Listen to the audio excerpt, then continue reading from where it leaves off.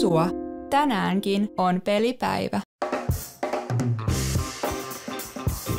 Hän opettaa ihmisiä semmoiseen terveeseen anteeksi pyytelemättömyyteen ja haluan korostaa, että on eri asia olla piippimäinen kuin haistattaa piipit. Eli tarkoitetaan sellaista asennetta, mitä tarvitaan Joo. elämässä, että pääsee eteenpäin. Ei muuta jyräämällä, mutta on paljon varsinkin nuoria naisia, että heillä on hirveästi potentiaalia ja taitoa, mutta heiltä puuttuu se usko omaan tekemiseen. Niin siinä mä ikään kuin opetan sitä.